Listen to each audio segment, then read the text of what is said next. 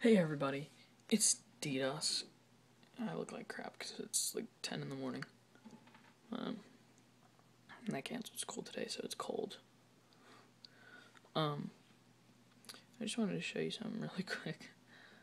Um, I decided to get a new operating system since Windows XP is losing its support in April of 2014. I thought I'd jump the gun and get Zorin OS 7.1 Core 32-bit, which is a great operating system. It runs really smooth, but I can't figure out how to like configure the file system because for some reason it won't let me delete any files and I don't have any free space on my hard drive so I can't get Fraps and run it with Wine because it is Linux it's not Windows um, so,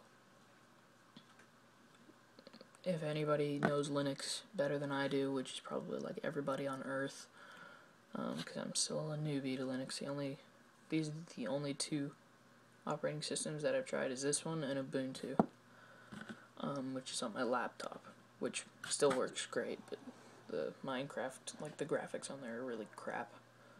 Um, but this computer has NVIDIA GeForce 6100 um, in the chip. So I don't know like what's going on, but the graphics on this one aren't that bad, but there's still a few bugs. And see, this is what I mean. And see, it also like uses the Ubuntu style buttons for some reason. This computer has only 0 bytes disk space remaining.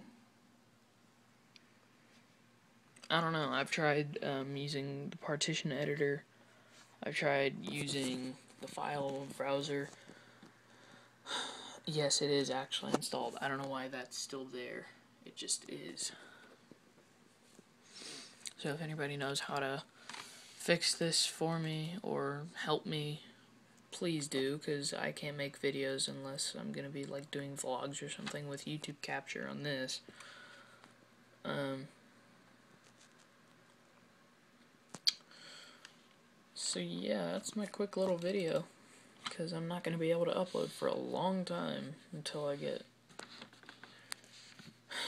Until I get like a new flash drive or something.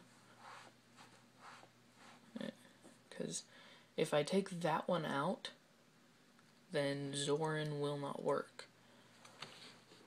Um, I probably should have just stuck with Ubuntu and installed it on this one but I would like use OpenShot because this thing comes pre-installed with the OpenShot video editor for Linux.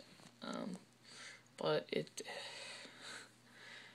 I don't have enough space on here for storing videos and stuff, so I'm gonna have to be using my um, my phone for this, which really really sucks. And I'm not happy with you, computer. You're making me very angry.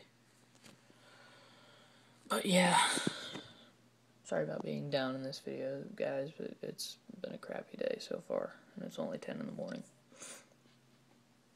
So yeah, my name is DDoS, and I'll see you guys in the next video. Bye.